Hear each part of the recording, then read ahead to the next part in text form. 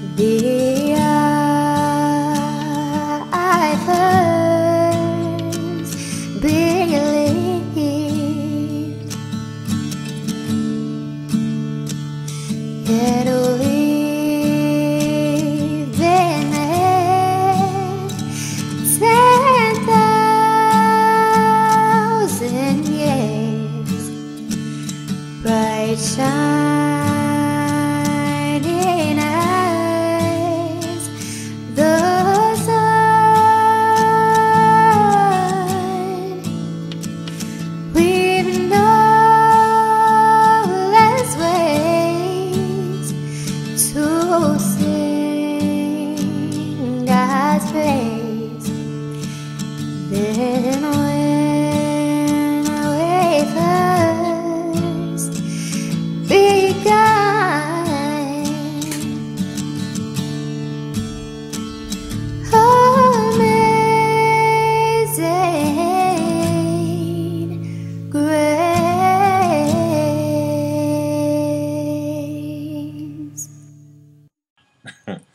y'all doing? I'm the Watchman, and this is part six.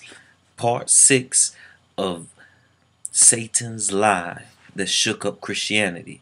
Satan's lie that shook up Christianity. Now, it started off with showing how we've been taught that 99% of Christianity has been taught that the word belief like in John 3:16 when it says for whosoever believeth in him shall not perish but have everlasting life that that word belief we've been taught that it's a thought belief.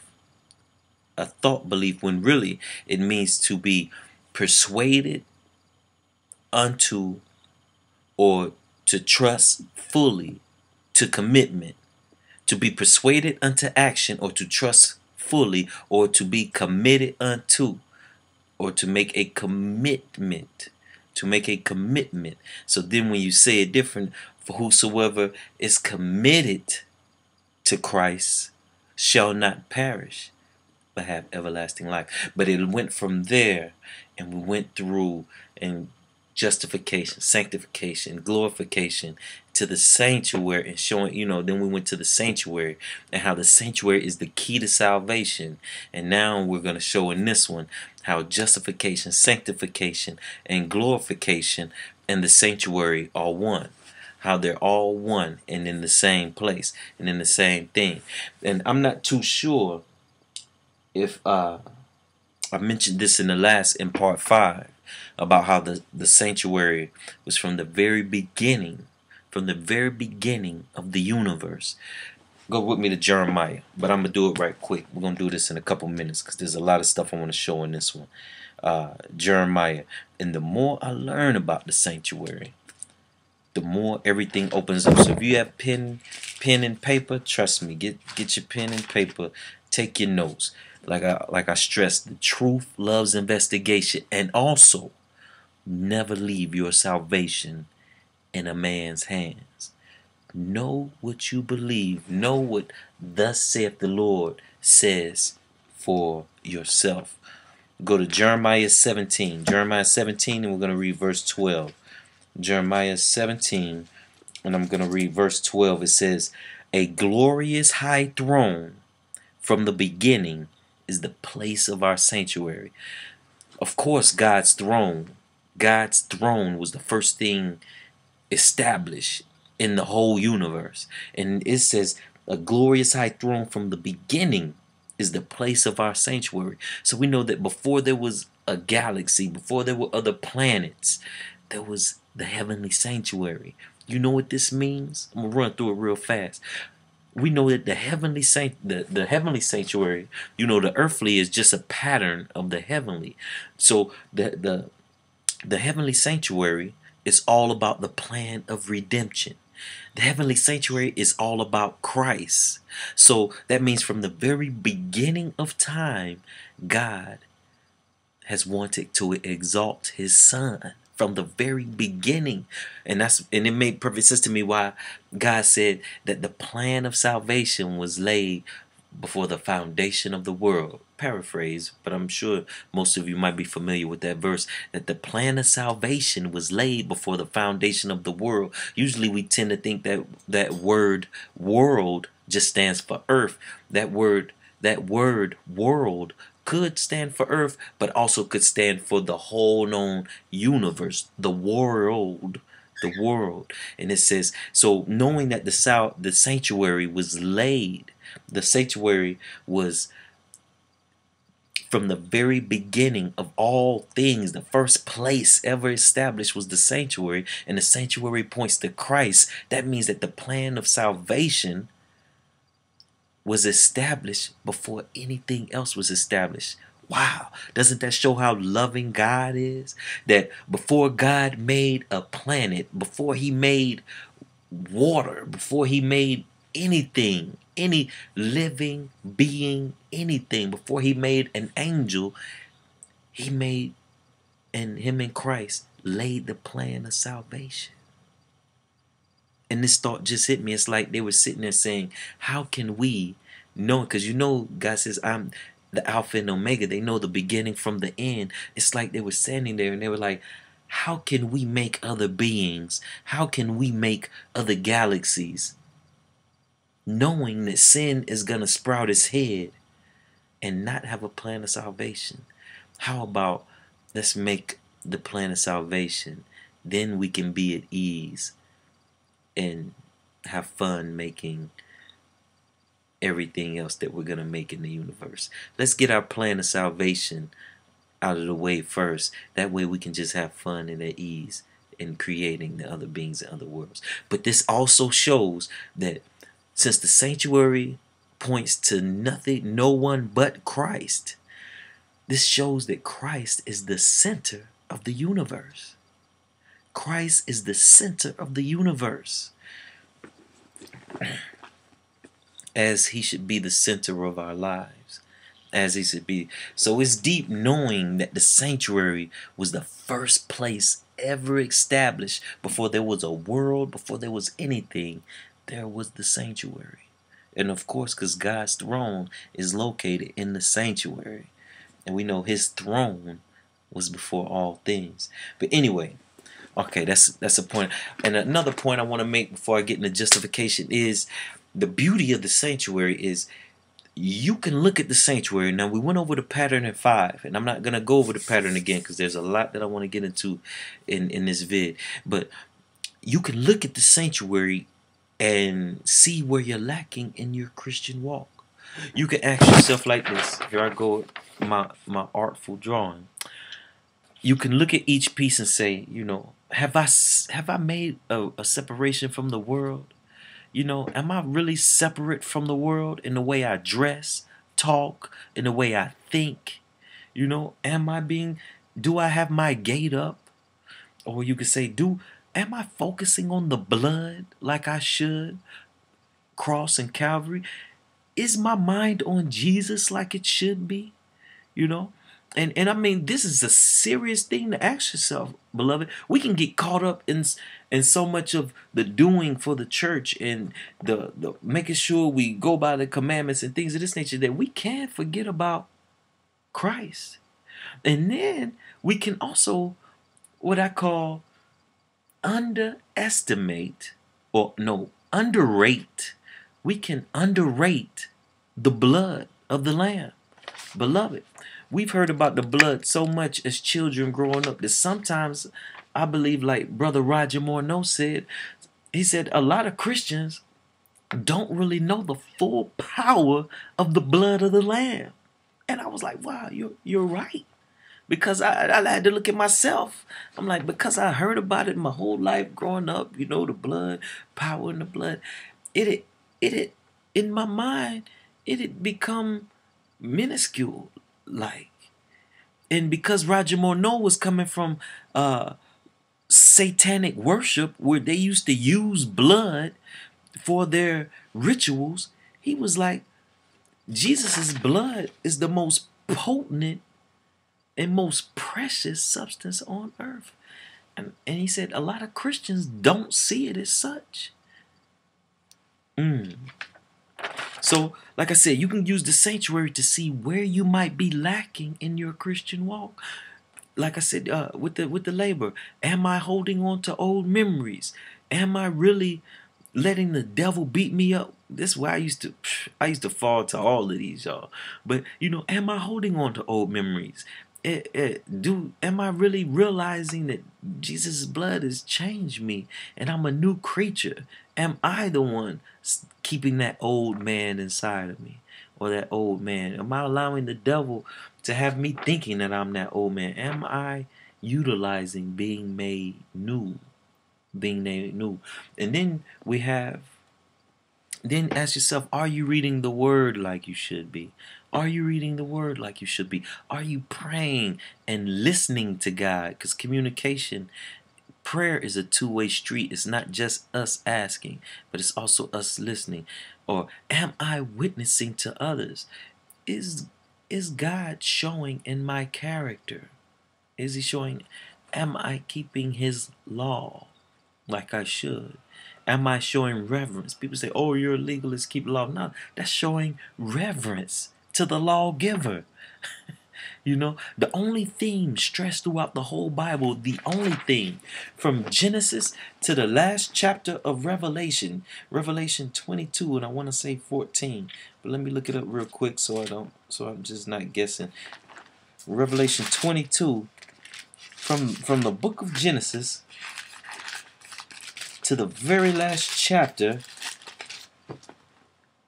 Revelation 22, verse 14 says, Blessed are they that do his commandments, that they might have right to the tree of life. So when somebody says, Oh, you're a legalist, you want to keep the God, that's the only thing that's stressed in every single book of the Bible is fear God and keep his commandments.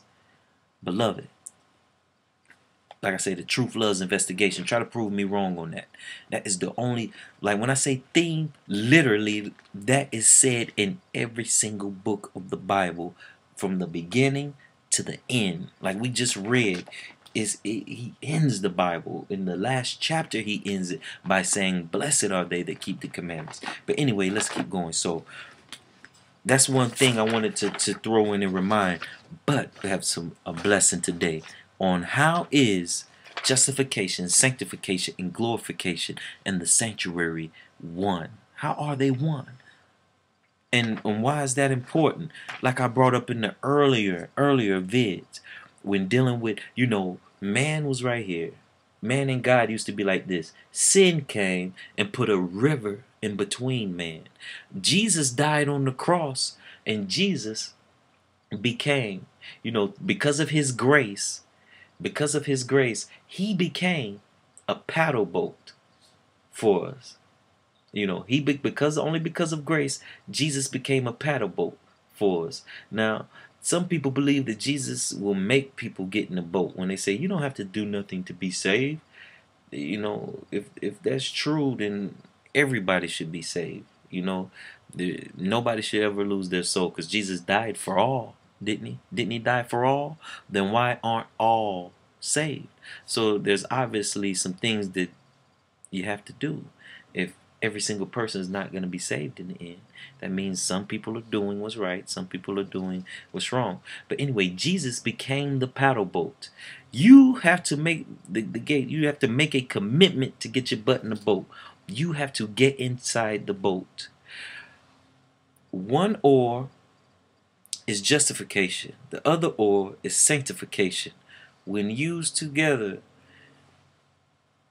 when used together, you get to the other side, and that's where God and His glory, you know, and you will glorify God. When you use them together and you're rowing in motion, while you're going to the other side, you will glorify God in your character and in yourself, in your being.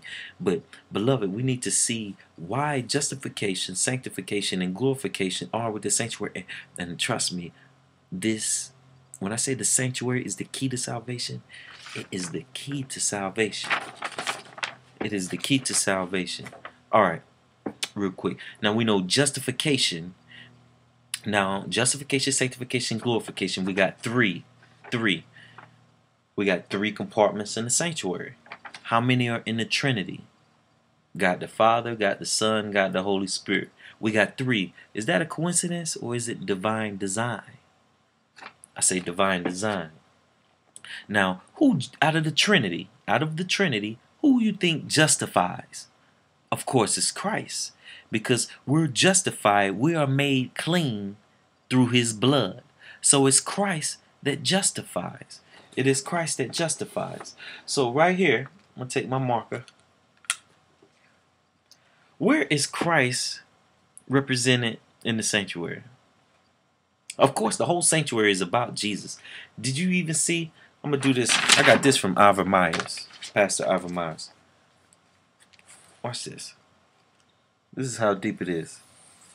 The sanctuary, when made look from the air, it even makes a cross. When you look at it, the sanctuary, the Old Testament tabernacle from the air, it even makes a cross. Divine design. But anyway, anyway, all right.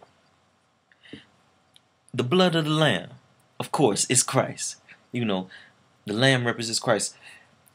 So we're going to say, and who who justifies? Christ. So we're going to say up here, justification in the courtyard. But is that all to show? No. Because here you are made clean. You are justified in the courtyard. You you you made a commitment to to separate from the world. You accept the blood of the Lamb, hence you are made clean into a new creature. You are justified. So the courtyard is justification. And even more on top of that, what gives light to the courtyard?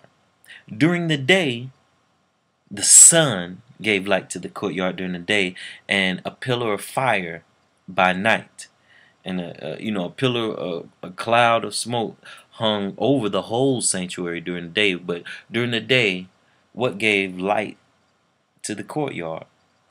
The sun. Do you see a coincidence with that? Out of the Trinity, who is the Son? Okay, I answered that pretty much myself. Of course, that's Christ. So the sanctuary was lighted by the sun. Do you think that's a coincidence? Hmm let's see. If each, now remember, divine design with the threes, each of the Trinity is represents each piece of the sanctuary. So you have you're justified in the courtyard. You made a commitment to separate from the world. You accepted the blood. Hence, you are made into a new creature. You are justified. You are justified, and you're only justified through Jesus and it's the sun that gives light to the courtyard. So Jesus, justification, the courtyard, the Trinity 3. So, sanctification, the meaning of sanctification means to be made holy. To be made holy. So, do we think it's a coincidence that the place that you are made holy would be the holy place. This is the courtyard, literally. It's crazy. God works divine design, literally. And God is so simple. God is so simple. We have the courtyard, but the next compartment is literally called the holy place. The holy place. Sanctification, the meaning of sanctification is to be made holy. Where else would you be made holy but the holy place? Let's write it right. Sanctification.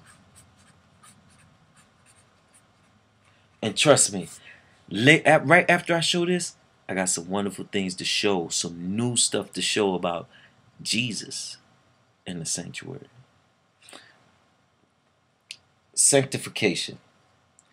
Who gives light to the holy place? Jesus, the Son gives light. The SUN gives light to the courtyard, and we know that the sun is a representation of Jesus because it gives light to the whole world. Who gives light to the the holy place? You say the the candlestick, right? Well, what what causes the candles to burn? The Holy Spirit, oil. Okay, I'm getting ahead of myself. Oil is what causes the candles to burn inside of the candlesticks. And what is represented by oil in the Bible? The Holy Spirit. The Holy Spirit. So it is the Holy Spirit who actually gives light to the holy place and deal with sanctification. Sanctification to be made holy. Cause and this is so important. This is this is probably the most important fact of whatever I'm gonna show you today. Cause I got a, a whole bunch of stuff I'm gonna show today, and that is kind of why I'm rushing. If the Bible says we are saved through sanctification, why aren't we just saved through justification? And remember the story of Leah and little Israel. Leah's the mom. Here, little Israel, she she puts him on clean clothes. You know, she lets him go outside and play. He goes outside, runs, get in the mud, comes back in. She washes him up, put the clothes in the dirty clothes hamper, puts him on clean clothes again, lets him go back outside. He runs straight to the mud, play dirt, comes running back in the house. She cleans him up again, and then she finally says, "Okay, what I'm gonna do is I'm gonna, I'm gonna tell him he can't go outside, but I'm gonna also give him some better stuff to play with in the house. That way he'll forget about not being able to go outside, and then he he'll be able he'll stay clean. then he'll stay clean, and I won't have to keep washing him up and taking off his dirty clothes. Beloved, every time she changed his clothes, she was that's justification. She made him clean. He was he was made clean. He was justified. But when she gave him a rule, when she said you cannot go outside, and she gave him other stuff to occupy his time, and she when she gave him other stuff to occupy his time, and he remained clean, and he remained clean, that was sanctification. He remained clean. And remember, the meaning of sanctification is to be made holy. And that's why the word says, through sanctification comes salvation. Because if you just stay right here, if you just stay in the, the courtyard and and think about it, it, it divine design. And my the study group that we have, uh, that we do on the sanctuary on uh, Sabbath nights, Friday nights. Uh, we, we we went through this last Friday night, and it was just it was just wonderful. We had a great time. But here, if you stay out here in the courtyard with justification, which a lot of a lot of Christians do, what can you see? Remember, the little boy kept running back outside. Well, if you just stand right here, you're gonna keep running outside that gate because you can see the world out here. You can see what everybody's doing. You know, you can see the world. And if you just stand out here, you can just keep. You know, you're gonna eventually, you're gonna go right back outside. You have to come back in here. Go right back outside. you know and that is why so why with sanctification so one of the reasons when you are when you come in here your mind is no longer on the world that's just one of the reasons that's just one of the reasons but you have to maintain your cleanliness even though it's the blood that justifies the reason why sanctification is sal- salvation is through sanctification is because you can keep getting dirty, but soon, if this door closes and you're dirty, you know, you're dirty. You you you you're not acceptable. You can't go in front of the Father. Sanctification is what keeps you clean to make you worthy to stand in front of the Father. It makes you worthy to stand in front of the Father. Y'all might say, well, Josh, where are you getting this verse from about salvation being the key to uh, sanctification? Well, let's see. Let's see here. I didn't plan on showing this, but this is how our Father works. Go to Second Thessalonians. Second Thessalonians.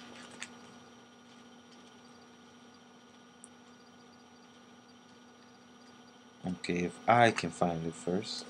Second Thessalonians. Second Thessalonians chapter 2, verse 13. Second Thessalonians chapter 2, verse 13. Beloved, I'm telling you, once you learn the sanctuary in this, verses like this start to make sense. It says, But we are bound to give thanks always to God for you, brethren, beloved of the Lord, because God hath from the beginning chosen you to salvation through sanctification of the Spirit and belief of the truth. What is belief of the truth? Belief of the truth is justified. But it says, verse 13, towards the end, it says, But God has chosen you to salvation through sanctification of the Spirit. Through sanctification of the Spirit. Which entity? Which entity represents the holy place? Which entity gives light to the holy place? Is the Spirit, the Holy, the Holy Spirit. Okay, I don't even know why I showed y'all that word. You can't tell from this angle. But the Holy Spirit. So I, I I used to read that verse or read verses like that where they say you need to be sanctified. I know we've all heard it. You need to be sanctified and sanctification, and you're like, you know, what is sanctification? You know, they say, well, that's how you're made holy. Well, where do I start?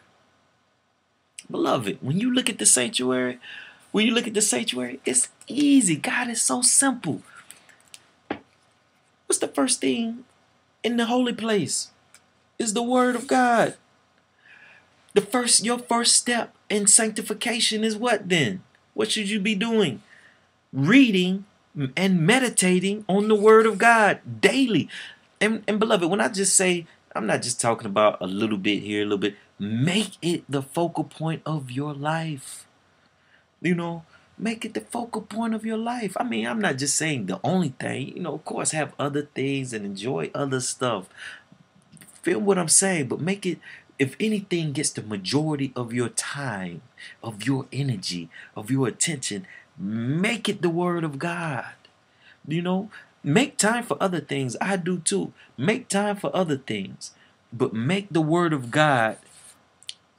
Make it the the most that you, uh, if the it, it receives make it it receives the majority of the time your time and energy is the word of god so concerning your sanctification. And we see like we said in Second thessalonians chapter 2 verse 13 where god clearly says word for word that salvation comes through sanctification. And it also says it again in First peter 1 2 First peter chapter 1 verse 2 but since we see that salvation comes through being made holy the first our first step in being made holy is reading and dwelling on the word our second step is focusing on our communication with god our prayer life listening to the lord and talking to him Not just asking for stuff all the time, but just talk to him. Talk to him. That'll make me mad too. If if what if that make you know my kids the only time they say something to me is they ask for something. I had to start laughing because a lot of times my youngsters are six and seven years old, and a lot of times that is is they asking for stuff all the time. But now, but we talk, talk. You know, I mean, our communication is open, open, and so God just don't want us to just be asking for stuff all the time. I mean, honestly, look at yourself. If, if you just the only time you praying is you asking God for something. Ask yourself: Is that, do you want a friend like that? The only time they talking to you is they always asking for something. What do you usually do to people like that? You cut them off. I mean, you you don't exactly cut them off, but you kind of wean away from them. Like honestly, if that's all they ever is, they always ask for something. You you you naturally like wean away from them. Well, beloved, treat God with that same respect, you know. But this is your walk in your sanctification. And then share God with others. Share, beloved. This is probably the most forgotten about piece of the share. It does something for your soul. I don't know. God, like David said in Psalm 77 14, God is a God of wonders. I don't, I don't know what sharing God does magic. Maybe not the best word to use. It does wonders for your soul. It does wonders for your soul and for your own walk. For your own walk. So, beloved, when G- when God says that our salvation is through sanctification, I see why. And because of the sanctuary, we know how to live a sanctified life. How to live a sanctified life. And what's the last one we say? Justification, sanctification, glorification. We ain't even got to guess which which one represents glorification. Glorification. Do we, you know, we said Jesus represents justification because we're ju- you're only justified by the blood of the Lamb. The Holy Spirit, even Second Thessalonians chapter two says, it's the Spirit who sanctifies. So of course, who glorifies? You know, God. God. Who gives light to the most holy place? God. God Himself gives light to the most holy place in the form of the Shekinah glory. The Shekinah glory, when God comes down and sits on His throne, which is the mercy seat, on the Day of Atonement. On the Day of Atonement, when God would come down and sit on His throne, He would light up the most holy place. So, you know, God gives light to the most holy place. God is represented in the most holy place. Is in the most holy place is glorification. Glorification. So beloved, you have justification in the courtyard, sanctification in the mo in the holy place, and glorification in the most holy place. And why don't you just when beloved, think about it, when when people say this is some of the false doctrines that the sanctuary naturally breaks down. When people say you're no longer under the law, you're under grace. I don't want to get into a big dispute about this to people. You know, but, but when I look at the sanctuary though, when I look at the setup, I'm no longer under the law. Where is the law? What is the devil really saying? That's why every I, I, everybody who's ever said that to me, who comes and leave me messages, I always ask them, "Have you studied the old the sanctuary?" They have not studied because when you study the sanctuary, if you say the law is no longer binding, what sits on top of the law? You have the law right here. Then you have God's throne. Let me say it again. You have the law, and God's throne is attached, attached to the law. They are one piece of furniture. Let's not get let's not get it twisted. The God's throne is sits on top of his law. Like he says, to change my law, you gotta move me off of my throne. And we know that ain't happening. I don't even like saying it. I want to say, forgive me for even just saying that, even though he know I was doing a description. I don't even like saying that. But for when people say we're not un- no longer under the law, we're under grace. Basically saying we don't need the most holy place. X out, out. We don't need the most holy place. We don't believe in the most holy place. I'm showing you how the sanctuary can break down false doctrines. We don't need the most holy place. That is literally what they and a lot most don't even realize it. But isn't that how the devil works? Isn't that how he works? He'll have you he'll have you disrespecting God's throne. He'll have you not being able to walk through this blessed assembly line to be made new and you not even realize it. And then you're just staying right here or you're just staying right here. You know, because you feel you don't even need the law. So you're not even going to go into the most holy place. Your thoughts ain't even on the most holy place. And what's in the most holy place? Is God's throne. Is God himself. But anyway, you ever heard that? I've heard churches say, "You, we don't need the Old Testament. You don't need the Old Testament. You know, uh, that's the old covenant. So don't read the Old Testament. Now, first off, before I even show how the sanctuary breaks that down, I just tell people like this sometimes.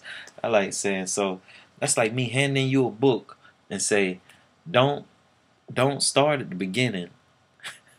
Start halfway through. Man, it's a great book. You know, think about it. These are Christians. I ain't gonna say the denomination, but I've had Christian denominations. You know, I want to say, but you know, they'll come and they'll, they'll tell me, they'll say, man, you know, Jay, we don't believe in the Old Testament. We just believe in the New Testament. I say, for real? So you don't read or study the old? They say, nah, we don't read or study the old. So that's basically like them coming to you say, man, this is a great book. You know, God's word. This is God's word. It's a great book. But uh start halfway through it. Don't don't start at the beginning. Start start halfway. And it ain't even halfway, because the Old Testament make up the majority of the Bible. So they like, here, uh, I'm gonna give you this. But don't start up here. You read, you start about right here.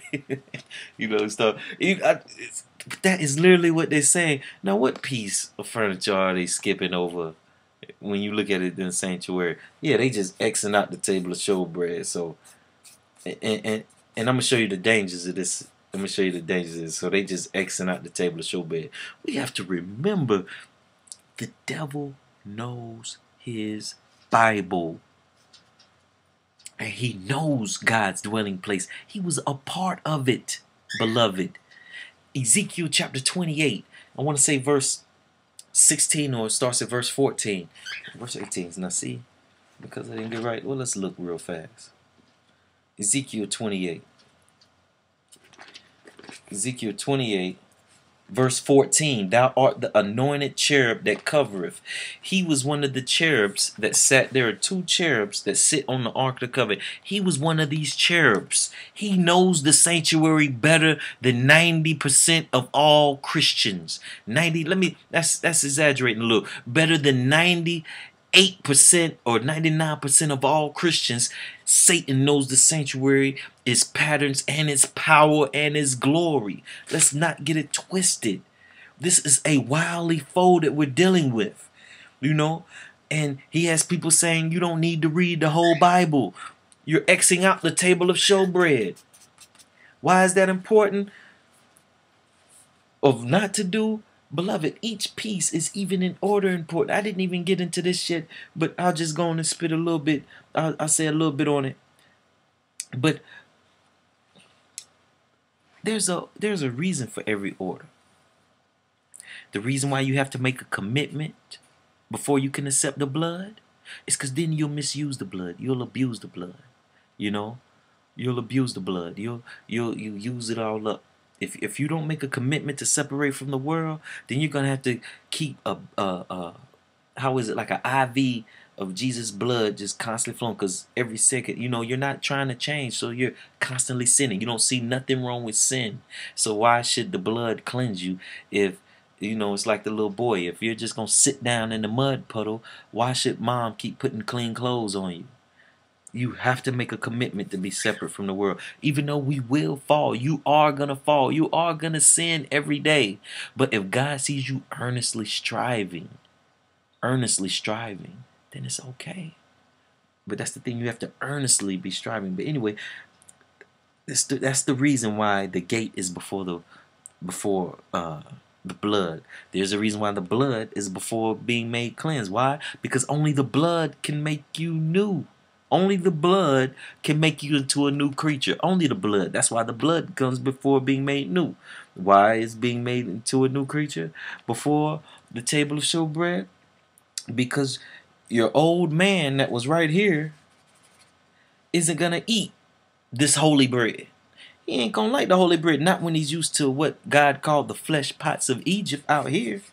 He isn't gonna like that bread. That's why God has to make you to a new creature to wipe away your taste buds. He has to give you brand new taste buds. He has to give you a brand new mind that won't say if, if the old man tasted that, first thing in your mind is this nasty. What don't this is what? But when when you're made new, then you can you can enjoy that fresh new. Mm, is that the book of John? Give me some hot sauce. You know, you can enjoy the word. Like, you know, I'm eating John. Tomorrow, go to Malachi. I'm gonna read Malachi tomorrow. You know, and that's when you start to really enjoy. When you're made new, you you become a child of God now. You're you're you're a child of God now. You're you're born into the spiritual. Your carnal is now old. Your carnal was done away with. But that's the reason why being made new and now you're born into the spirit the spiritual house of god. So now you can eat spiritual food. That is why it's rare. And why is the table of showbread before prayer? This is why the devil has a lot of christians saying we don't need to read the old testament. You got to know because this is the word of god. This is how you get to know god by reading his word right? Tell me beloved if you don't read the bible how are you going to know who you communicating with? Can you communicate with somebody you don't know? Honestly. Can you talk? Can you have a great prayer life? Or can you have a great, let's not even use God as the example. Let's use people you work with in your home, school, wherever you are. Can you have a great communication? Great communication with people you don't know? What are you going to talk about? You can you can say, hey, you can you know speak a little bit but do can you can your communication be great? Can it can it be strong?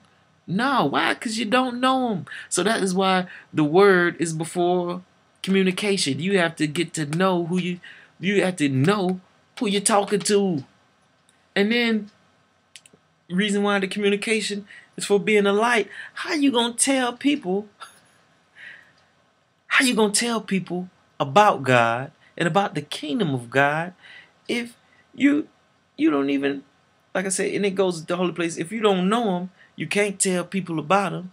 But then again, you can't communicate them to others if you ain't communicating them with yourself. If you don't know how to talk to somebody, if you don't know, let's just say like this, if you don't know the best way to talk to God, or if you don't know the ways to talk to God and come at God or communicate with God, how you gonna tell somebody else to communicate with? You can't tell other people to communicate with God if you don't know how to communicate with God. If you ain't doing it, you know, how you gonna tell others how to do it? You know, it makes no sense at all. You know, and if you're not, and the reason why this is before the throne, because if you're not reflecting God in your character, He's not gonna recognize you when you come in here. God is pure holiness. He's pure, no sin, no defilement. He only sees reflections of Himself. That's deep. But it's the truth. God only sees reflections of himself. So if you're not reflecting him right here, if you don't start reflecting God in your character, He's not going to recognize you. What did Jesus say in Matthew 7? I believe starts at verse 21 when he, at the end when he says when they, people say, "Lord, Lord," didn't we do all these and they say wonderful works. So they were doing all this stuff in Jesus name. All this time energy and Jesus says, "I never knew you." Why? Cuz come judgment, come the second coming, God, Jesus, the Holy Spirit are only going to recognize themselves. They're only going to recognize reflections of themselves. That's it. That's it. So, beloved, that is one way the sanctuary is the key on so many levels. So many levels. I didn't think this would take this long, but I'm going to keep going real quick because there's some important stuff I definitely wanted to share. In part five, at the end of part five, uh, uh, a friend of mine who's now become, you know, a friend, uh, I'm not even sure he uh, he had been watching the videos and he left a comment the first comment that he left, and that's why I tell y'all leave some comments when, especially, I don't know everything by far. There is millions of stuff in this word that I don't know, and one of the ways I like learning is through others, through my bro- my brothers and sisters. I'll never be that type to where I feel like I can't learn something from you. You know, that's that's by far. But this is his name, like uh, on his YouTube name. Uh, I'll let him, if you wanna, uh, you can see his comment on part five when he talks about how he said, you know, Jesus lived the sanctuary pattern in reverse, and this is his YouTube name. This is his YouTube name, and uh, I know his real name, but I'll let him tell it to you if he if he like. You know, he might not want it out there. But he said how Jesus lived the sanctuary pattern in reverse. And I'll just go on and share it with you if you didn't see the comment on the last one. You know, when you look at the Ark of the Covenant, maybe let me get a, a fresh copy. Let me get a fresh copy of the, the sanctuary. Alright. When you he said he said Jesus left the most holy place to come down to us. So that's like him leaving here. And I want to expound. You know, he was the Shekinah. You know, because that is God would come down once a year. And this is me expounding a little extra on it. And and I appreciate you for sharing this, brother. But he was the Shekinah that came down from heaven as God in the Shekinah came down to the earthly tabernacle once a year on the Day of Atonement didn't Jesus come to make atonement for our sins? It blew me away when he shared this. But Jesus came down as the Shekinah to make atonement. Even the cherubims. Now, this is me picking apart what he said. Even the cherubs, whose job was to protect God's throne and protect his law, Jesus came to vindicate God. He also came to show us what God's law, how to live his law in our hearts Jesus came to show us how to live, to be living examples of his law. This way, I'm going the wrong way. Jesus was also showed us how to be a light to the world. He was a light to the world. He showed he showed us how to be a light to the world. He showed us how to communicate with the Father. He showed us how to have a prayer life. He showed us how to pray. He gave us the step, the pattern of prayer you know, with the Lord's Prayer. He doesn't say do that prayer word for it every time, but it's actually a pattern. You know, when he says, Our Father, which art in heaven, hallowed be thy name. He praises God first. So he's saying we, in your prayer life, before you just get to asking and talking, praise God first. Give him the respect and honor that's due. That prayer is actually a pattern. Y'all should look into that. But anyway, Jesus showed us how to communicate with God. He got up early in the morning late at night. He's talking, stayed in communication with God. So he was a light to the world. He showed us how to communicate with God. He was the Word made flesh and dwelt among us, as John says. He was baptized. But when he was baptized, what did God, a voice from heaven came and said, God said, This is my beloved Son in whom I am well pleased. Jesus was baptized so that we all, through his baptism, might be that when we're baptized now, because of Jesus' one time baptism, when we partake in baptism, we are grabbing a hold of that. The same way that we grab a hold of his blood when he died on the cross is the same way that we grab a hold of his one time baptism, beloved. I, I, I'm going to stress on that. I'm going to talk about that more.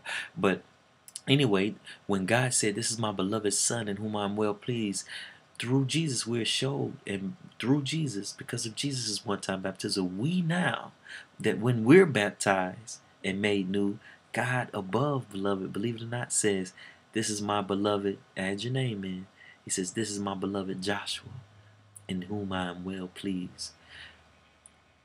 And then he became the lamb that was slain he became the lamb that was slain so he could stand at the door of the gate, meet us here, and walk us back through the path.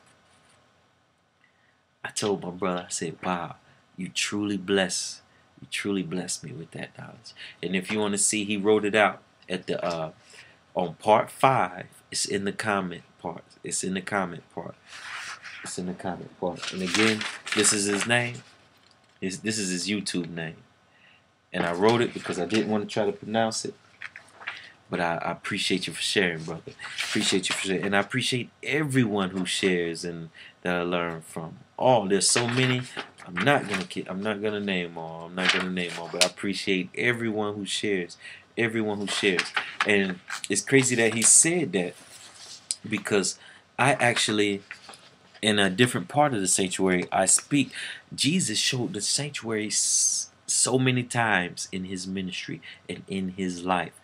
Just as the brother broke down how Jesus came through this I love I love it how he broke down how Jesus came through the sanctuary in reverse. The Shekinah he was God who came down from heaven to atone our sins. He was the light of the world showed us how to communicate. He was the word made flesh. He because he was baptized we we all can become children sons and daughters of God he was the lamb that was slain so he could meet us at the gate and walk us back through the pattern I love that. And it's crazy because this is how the Holy Spirit works. I uh, I believe like a year ago, I saw how remember Jesus said, I am the temple of God. Israel attacked Christ and they attacked every they attacked every vessel. When they when they came at Christ, they attacked every part of the sanctuary that was inside of him. Go to your Bibles to Mark. Go to Mark chapter 15. Mark chapter 15. This is where this is where they first were uh, is spoke about. Mark chapter 15 and I'm start at verse 29. Mark chapter 15 verse My son gave me this for Christmas because I used to use pieces of their kite you know, I, I used to get them the kites and they always bring them so they had a whole bunch. I'm sorry, y'all. I had to do it real fast because it's been bugging me. And I want to keep my mind on the study and not wondering, oh, I want to scratch my back. But anyway, Mark chapter 15.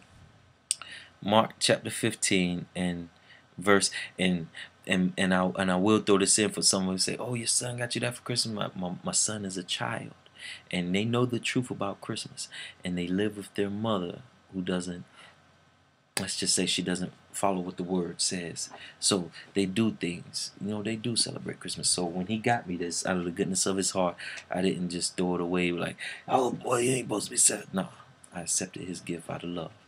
And daddy does, has taught them the truth of Christmas. and they still be like, okay, just where's our gift at? but anyway, but the plant the seeds are planted for truth.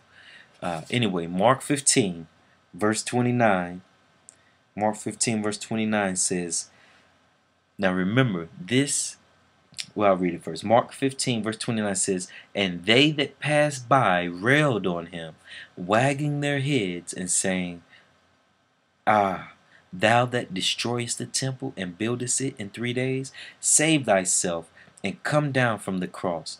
Likewise also the chief priests mocking said among themselves with the scribes, He saved other, himself he could not save.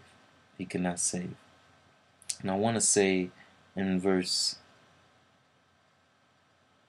verse 14 mark 14 the chapter before in verse 58 he says we and then when they accused him they said we heard him say i will destroy this temple that is made with hands within three days I will build another. May this is just to prove when Jesus taught his body is the temple. His body is the temple, and they are doubting.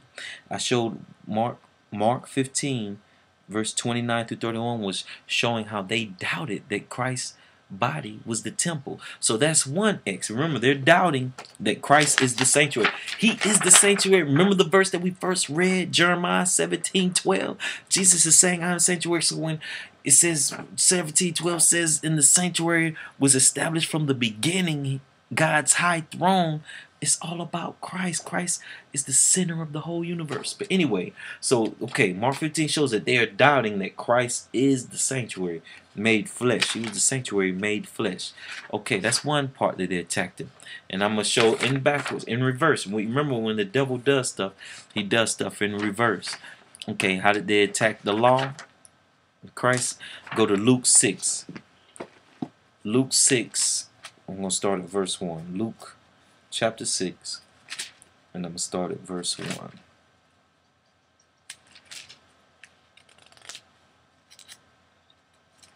Luke 6, verse 1 says, And it came to pass on the second Sabbath after the first, that he went through the cornfields, and his disciples plucked ears of corn and did eat, rubbing them in their hands.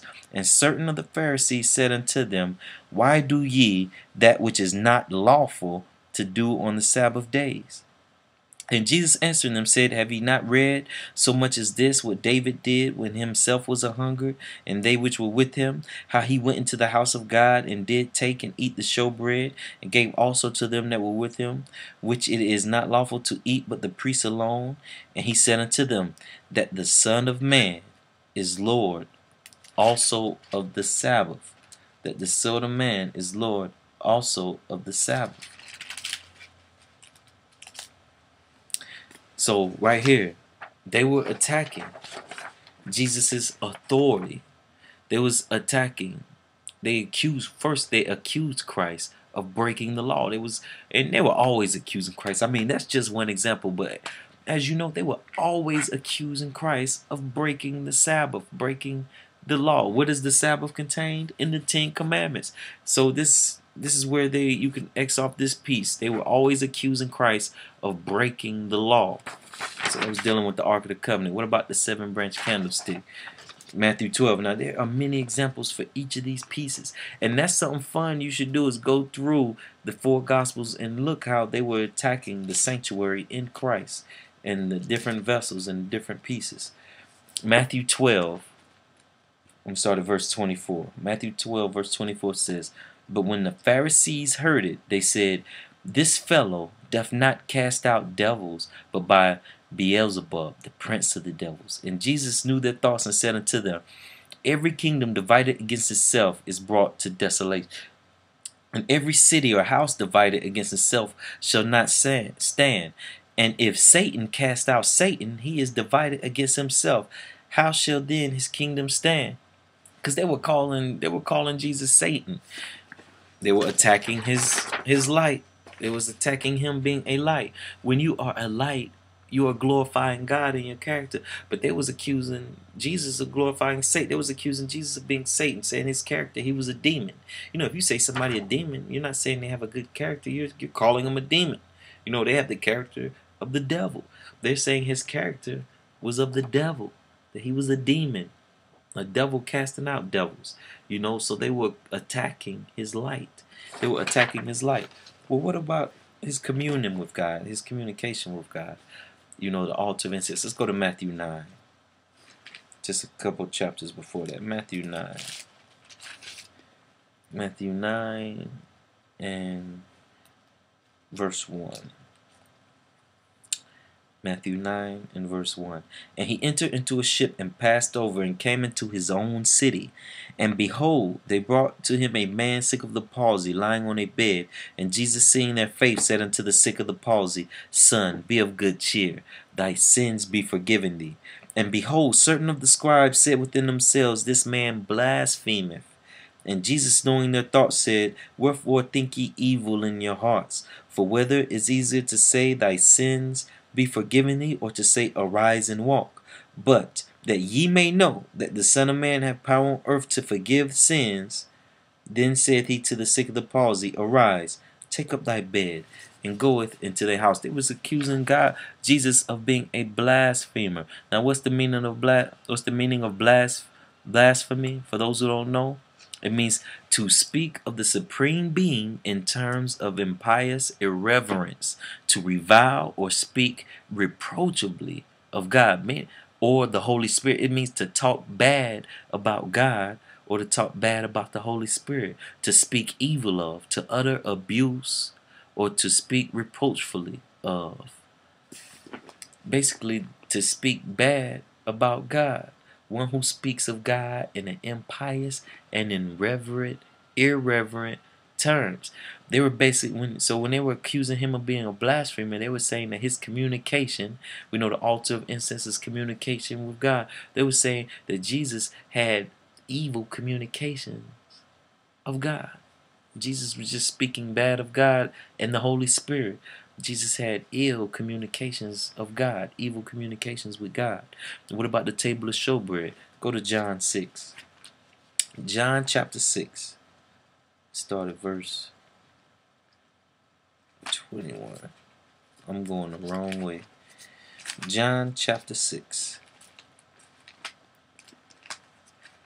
And now, when you learn the sanctuary, verses like this, what I'm about to show you, starts to make sense. Now, the whole chapter is about what uh, about them trying to deny him being the bread of life.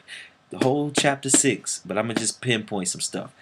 John chapter 6, verse 51, Jesus says, I am the living bread which came down from heaven. If any man eat of this bread, he shall live forever. And the bread that I will give is my flesh, which I will give for the life of the world. 52. The Jews therefore strove among themselves, saying, How can this man give us his flesh to eat? They're doubting that Jesus was the Word made flesh. They doubting. Jesus said to them, Verily, verily, I said to you, except ye eat the flesh of the Son of Man and drink his blood, ye have no life in you. Whoso eateth my flesh and drinketh my blood have eternal life, and I will raise him up in the last day. And I will raise him up in the last day. I'm skip down to verse 59. He says, Okay, I'll read 58. This is that bread which came down from heaven, not as your fathers did eat manna and are dead. He that eateth of this bread shall live forever. These things said he in the synagogue as he taught in Capernaum. Many therefore of his disciples, when they heard this, said, This is a hard saying. Who can hear it? When Jesus knew in himself that his disciples murmured at it, he said unto them, Does this offend you? Does this offend you?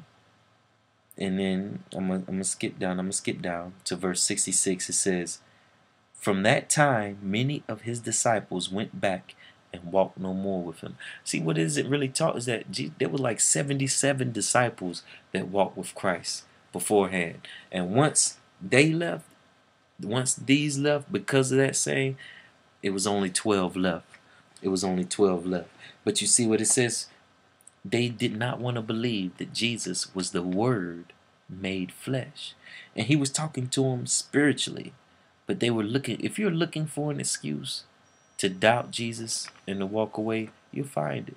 And that's what was going on there. They were really looking for an excuse to doubt him and to walk away anyway. Because they were around them for the wrong reasons. And that's why they really didn't believe. That's why verse 64 says, For Jesus knew from the beginning who they were that believed not, and who should betray him. He knew he already knew from the beginning. But anyway, that was them attacking the table the table of showbread. That was them attacking the table of showbread. Now what about the baptism? Remember, baptism is when you're made new, you're cleansed, and you're a new creature. And you're born into the house of God. Well, let's go to Matthew 27. Matthew 27. Matthew 27. You say, how did they attack the baptism of Jesus? How did they attack Jesus being a new creature? Now, this one right here is deep, beloved. Believe it or not. And this is real deep right here. Matthew 27. And I'm going to start at verse 27.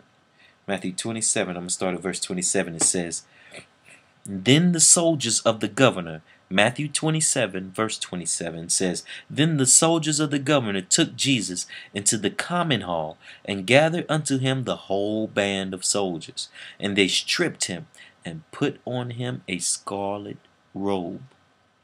And when they had plaited a crown of thorns, they put it on his head, and a reed in his right hand, and they bowed the knee before him and mocked him, saying, Hail, the King of Jews. That scarlet robe, scarlet is the color of sin. Scarlet represents sin. And as you, you read in Isaiah, the verse slips my mind. Do I have it here?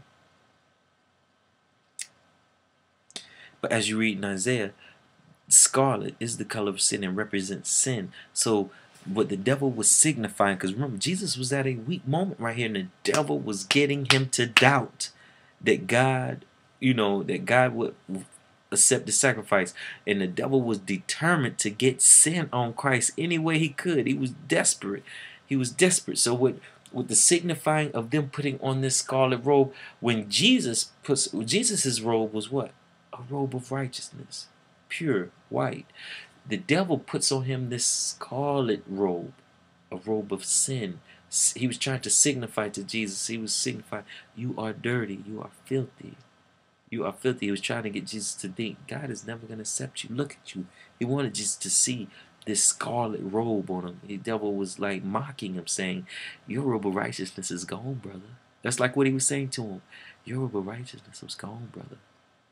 You're you're you're gonna be kicked out, forever kicked out of heaven like me, like I was. Beloved, this is what was going on. So when when these soldiers who was actually doing the devil's work, when they placed this scarlet robe on Christ, that was actually uh, attacking the baptism. Because the laver you're made new, you're cleansed. So the scarlet robe was representing sin, the sin being placed on Christ. They were saying, You're not new, you're not cleansed, you're not you're not new, you're not some new creature, you're not clean. You don't have some righteous robe, you're dirty, you're filthy. They were attacking the baptism. And the sacrifice, how they were how were they attacking the sacrifice of Christ? Stay in the same chapter, Matthew 27, and now let's read verse 35. And they crucified him and parted his garments, casting lots, that it might be fulfilled which is spoken of by the prophet. They parted my garments among them, and upon my vesture did they cast lots. They attacked the sacrifice by crucifying him, basically. You know, some people think the sacrifice was just him dying as a lamb. Of course, that is, you know, blood had to be blood had to be shed so we could be saved. I mean, that's just point blank. The wages of sin was death. Someone had to die to atone for sin. And that's how they attacked his sacrifice by when they crucified him and mocking him and mocking him, mocking his sacrifice. And like you know, I don't have to even go into the last one in detail because you know it's sad to even think about, but they mocked him, you know, on the cross the whole time he was on the cross, making a mockery of his sacrifice. You know, saying that he really wasn't dying for our sins, you know, just mocking him. So, beloved, that is how Israel, that is how they attacked the sanctuary that was in Jesus. And, and I want to pose this question to you. If you're not under attack by the devil, if if he's not attacking you in your life, could it be that there's no sanctuary inside of you? Could it be you're just going to church? And that's all it is, is that the sanctuary is this outward building that, like my good friend Amy uh, was excited about, and you'll see her comment on the end of part five, is that if the sanctuary isn't in your heart, that might be why the devil's not attacking you, because it's not here yet. Yet, you know, and I know I've heard that a lot of times that this that we our bodies are the temple. I'm pretty sure you've heard that too. Your body is the temple of the living God. I heard it my whole life, but I felt relieved when God showed me how His sanctuary becomes inside of me. How I become a living representative of His temple. You know, it's one thing to tell somebody something, but you know, and then it's another thing to actually show them To show because I used to never really get it how my body was the temple how the temple was inside of me, how I could live the temple, you know, until God showed me. So it was a must I shared. And beloved, on the next one, the next video, the next video piece, just to give you a taste so you don't keep seeing part seven, part eight, and you're like, oh, he probably gonna say the same. The next one, I'm gonna show how Israel as a whole walk through the sanctuary. Walk through the sanctuary.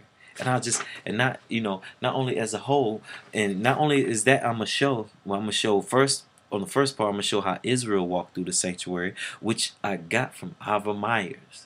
Which was you know, I always love giving credit where credit is due, which I got for but what the Lord showed me personally was how Jesus, again, Jesus, the devil knows the word.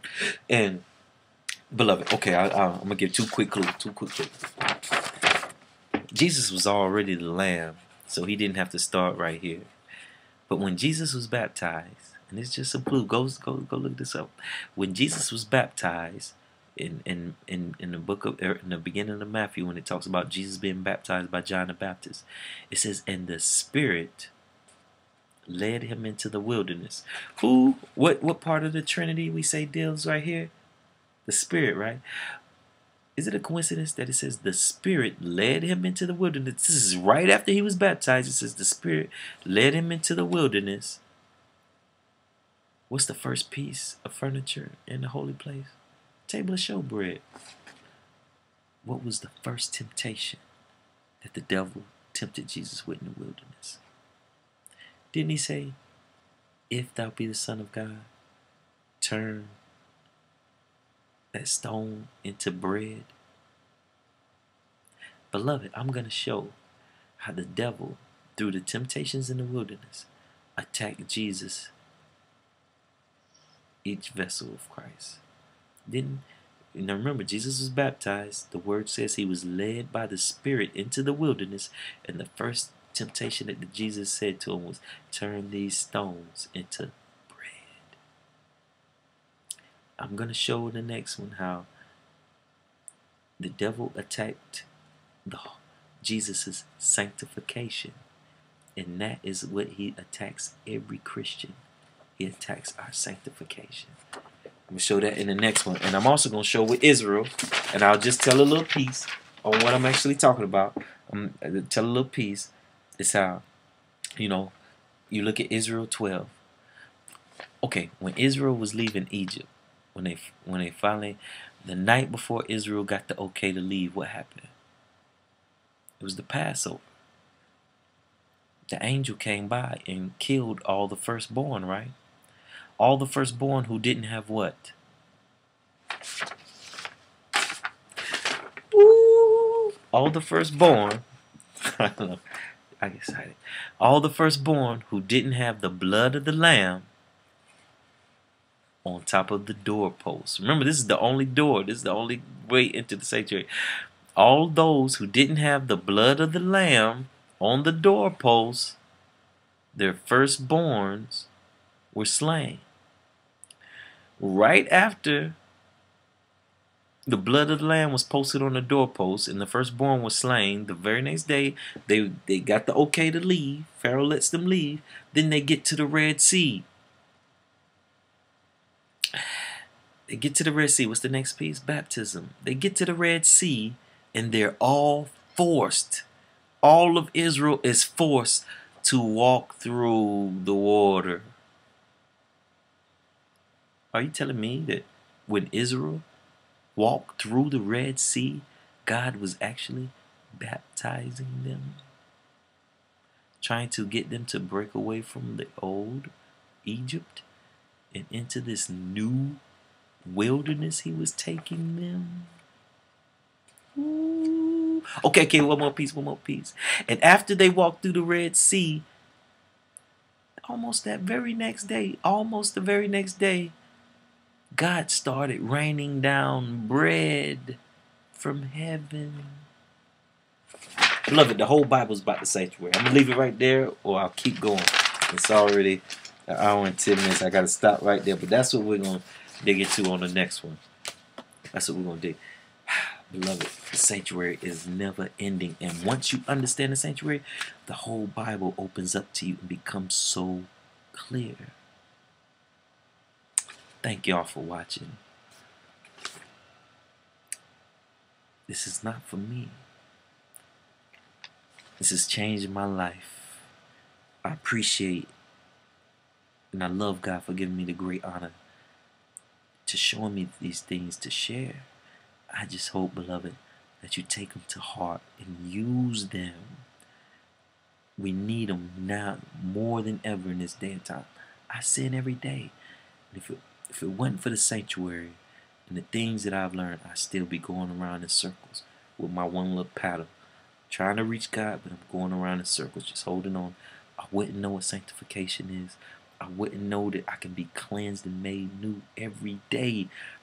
Go through the sa You can use the sanctuary pattern every day. That's what it's there for. That's what the daily sacrifice was for. It was a daily, not just once a week like the devil will have you to believe. You can just you just gotta go to church on on Sunday or Saturday, the Sabbath, you know, on your Sabbath, or if you you go to church on the first day, you know, we tend to believe, oh, that's the only day you go to church. No, it, back in the Old Testament times, the sanctuary was open every day. It was called the daily sacrifice. The daily sacrifice every day. The sanctuary was open. You could go listen to a sermon, cleanse, and you know make atonement for you. every day. Every day, you can use this sanctuary. It's, it's there for us, and that's what it's there for. Y'all have a blessed day. Amazing.